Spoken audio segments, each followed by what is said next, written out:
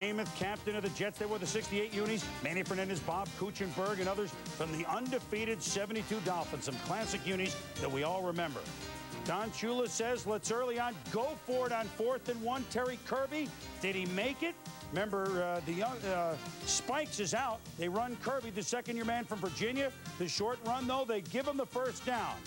Opening drive, nine minutes long, but Mo Lewis makes the pick for the Jets in the end zone to kill the drive for Pete Carroll. But the Dolphins come back in the second quarter. Marino to Keith Byars. Look at this play over Aaron Glenn.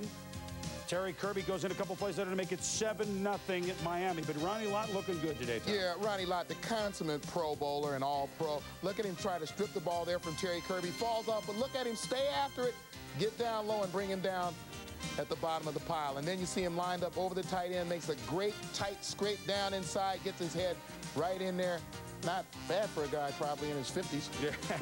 well, lot playing D. So was Miami. Adrian Murrell wearing the old number. Bake Turner, number 29. But Shaun Hill comes up fired up.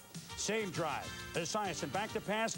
Off the hands of Verlon Biggs, number 86. I mean, Johnny Mitchell. It's incomplete. And Aubrey Beavers, a beautiful interception for the Dolphins. Two-minute drill. Marino, all day to throw finds his tight end Keith Jackson, makes a good catch for 14 yards. Five plays later, square out. Look at the pass, look at the catch, look at the run by Keith Byars. 14 0 Miami. Beautiful, Tom. Chris, everything about it pretty. The, the release, look where the ball's delivered, outside and low on the hip. Kyle Clifton, pretty good coverage, not good enough for Marino. Well, Esiason then goes back to pass. He's picked off by Darrell Muggsy Malone. Boomer with four interceptions and Jets fans calling for Al Woodall off the bench. Third quarter, Jets show some life. The reverse, Boomer sidesteps a would-be tackler, Richie Anderson. The fullback makes the catch. It's 14 to 7 on the 27-yard play, but give Miami credit. The Jets within seven. Marino right down the field to Keith Jackson. Oh, Nelly, you can't tackle me. I can lateral it to Irving Fryar. It's a touchdown. 21 to 7, let me tell you.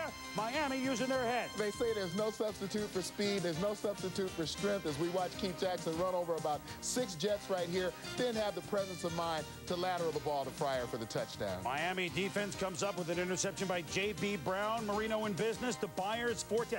Quick release, Tom. Then Keith, tell you what, Jackson, you've done your job today, no question about it. Keith Byars gone, Keith Jackson. They can all sit down.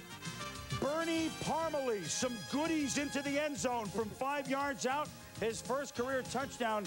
The Dolphins go on to impressively smother the Jets and go to 3 0. Miami wins it 28 to 14. The Jets only